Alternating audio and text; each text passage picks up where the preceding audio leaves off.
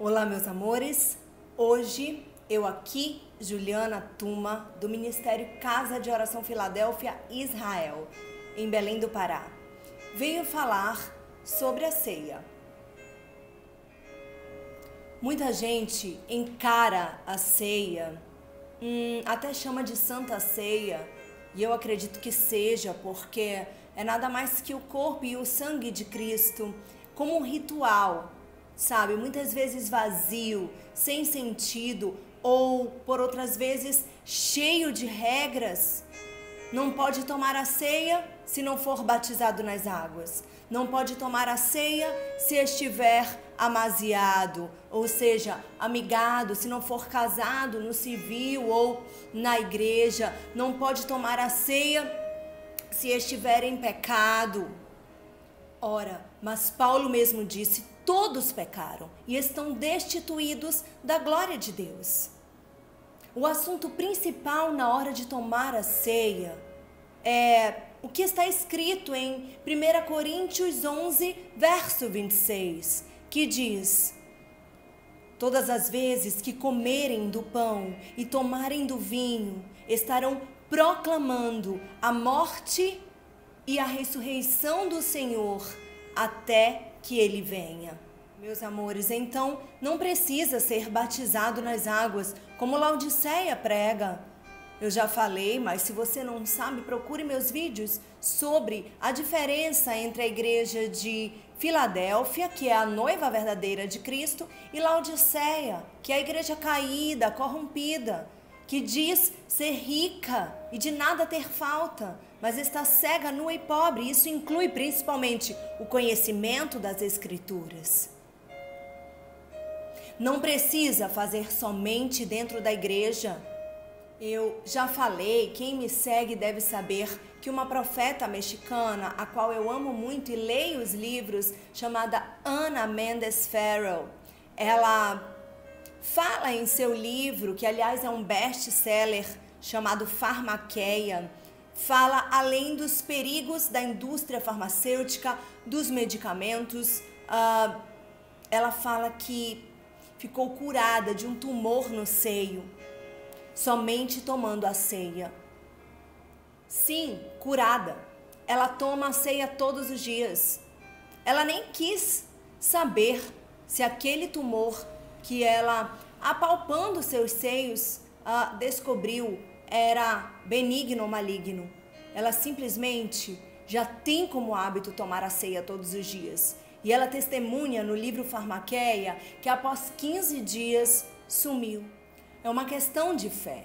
Tipologizar no suco de uva e no pão. A morte, a ressurreição de Cristo, o pão da vida, que é Jesus, o sangue da nova e eterna aliança, que é o sangue derramado naquela cruz. É questão de fé. Você crer e colocar em prática tomando a ceia, como eu já falei, não como um ritual, mas como algo de fé. Não é o ato que santifica, mas a fé, através da ação com a qual executamos. Quando você tem fé, sabe exatamente por que está fazendo essas coisas. A mesma coisa é a unção com óleo. Você crê que Jesus está naquilo. E então entende o porquê de estar fazendo aquilo. A Rebecca Brown também fala em seus livros, outra autora muito importante de libertação, que o óleo hoje ele tem o valor, ele tipologiza o sangue. Sabe aquele sangue lá nos umbrais do Egito? Pois é, hoje ele é tipologizado pelo óleo e pode até ser óleo de cozinha. Não precisa um pastor ungir para você, porque há um só mediador entre Deus e os homens, e este é Jesus Cristo. Na hora de consagrar, temos o mesmo poder de um pastor, padre, rabino. 1 Timóteo 2,5 deixa isso bem claro. É o que eu falei. Há um só mediador entre Deus e os homens. Meus amados, a unção vem de Jesus. só pode vir dele.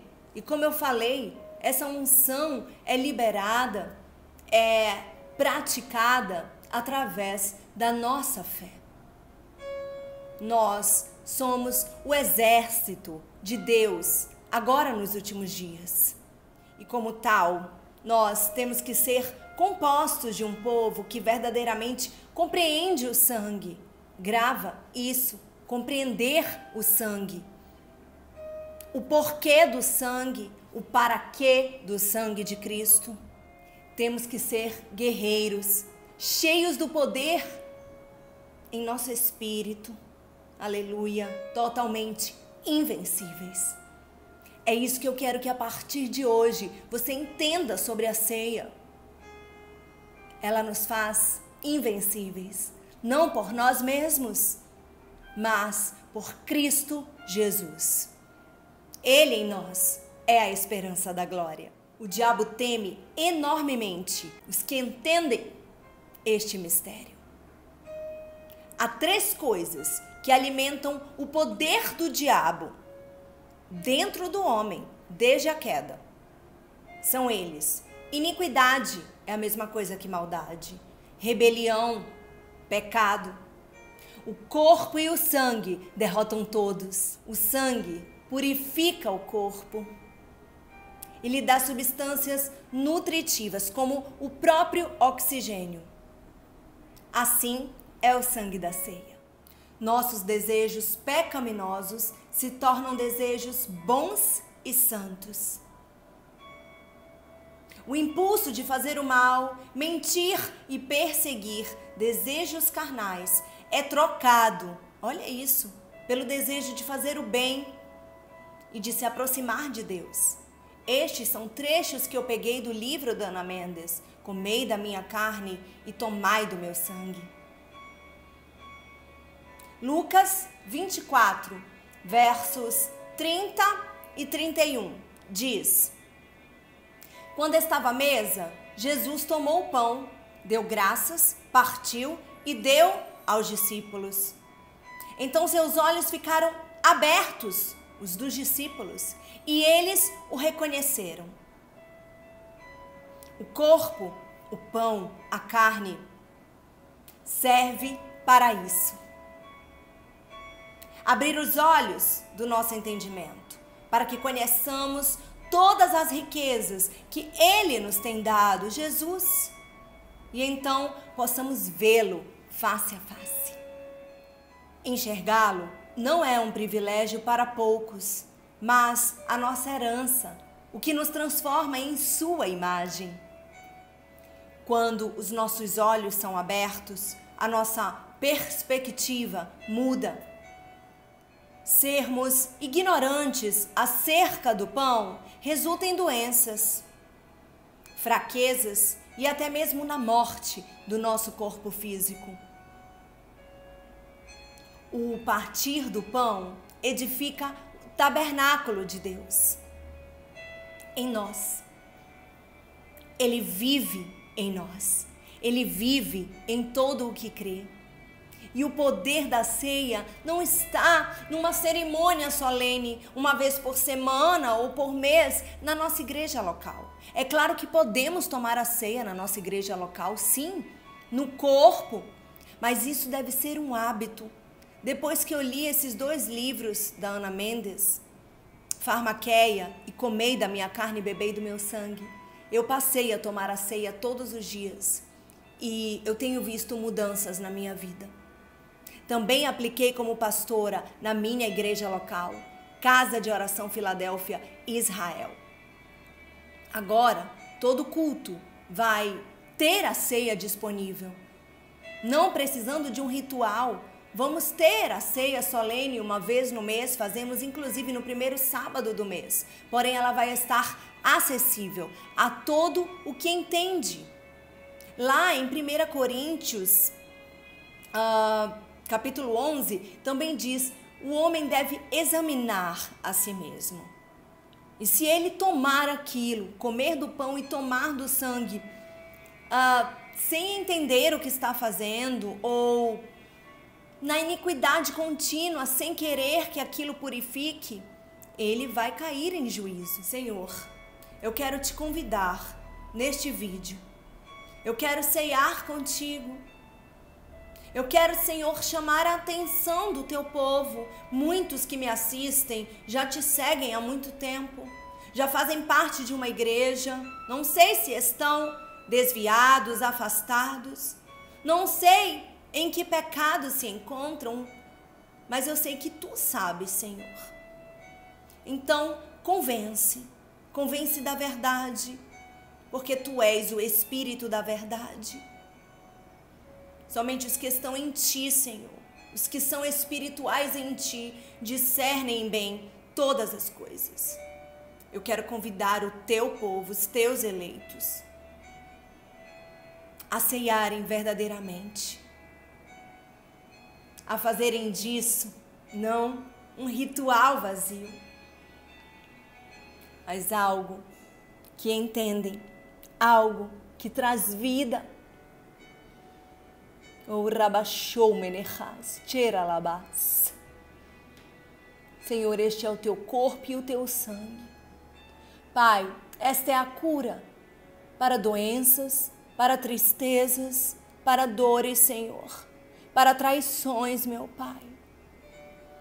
Esta é a cura, Pai, que deve ser diária. Este é o poder liberado através do teu espírito. Tira labassuri canta rabashi anda labashiri anda. Que o teu povo possa compreender, Senhor, e executar, como eu tenho feito e proclamado. Obrigada pela vida, Senhor, da Ana Mendes, da Rebeca Brown, mulheres que me inspiram, Senhor, e que me fazem passar adiante o conhecimento que tenho adquirido delas. A propósito, elas também falam que a ceia católica, ela não é santa, ela não é consagrada ao Senhor Jesus, e sim a demônios. É o que chamamos de Eucaristia, ela é uma adoração àquilo. Não devemos adorar o pão e o vinho. Devemos adorar a Jesus Cristo. Ele é o motivo disso aqui. E a Igreja Católica, infelizmente, sabe exatamente para quem está consagrando isso e dando para as pessoas tomarem. E não é para o Senhor Jesus. Se você quiser entender melhor, leia. Leia os livros da Rebecca Brown, especificamente o Vasos para a Honra e Prepare-se para a Guerra. Lá ela tem capítulos isolados falando da Eucaristia da Igreja Católica. E leia o Farmaqueia, leia Comei da minha carne e bebei do meu sangue. Seja edificado. Receba a vida. Todo aquele que crê no Senhor não perecerá, mas terá vida eterna.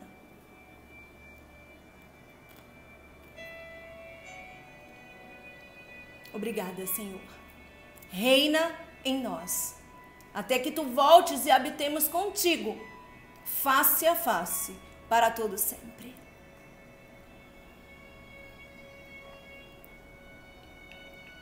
Aleluia. Louvado seja o teu nome. Tchera labassubiá naraias. Era la la la tchera la la la la ere calabas. Amagesiso ere lá baias.